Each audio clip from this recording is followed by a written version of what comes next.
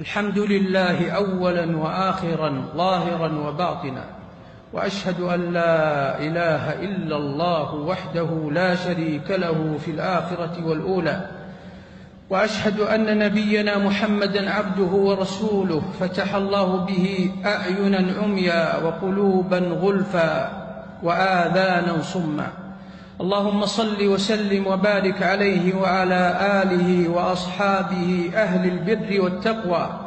أما بعد فيا أيها المسلمون من المعلوم عند علماء الإسلام أن الأصل الذي تقوم عليه صحة التعبد متابعة السنة النبوية وقيام الدليل الشرعي وإنما يفعله بعض من المسلمين من الاحتفال بمولد النبي صلى الله عليه وسلم في اليوم الثاني عشر من شهر ربيع الأول هو أمر محدث لم يفعله صلى الله عليه وسلم ولا خلفاؤه الراشدون ولا أهل القرون المفضلة مع عظيم محبتهم لنبينا محمد صلى الله عليه وسلم.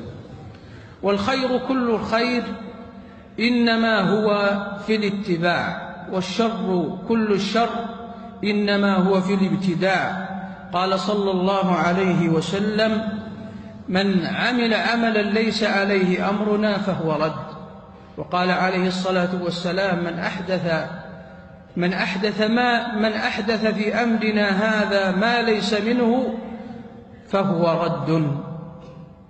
ومحبة النبي صلى الله عليه وسلم أصل عظيم في الإيمان بالله جل وعلا ولا يستقيم إيمان بدون محبته صلى الله عليه وسلم.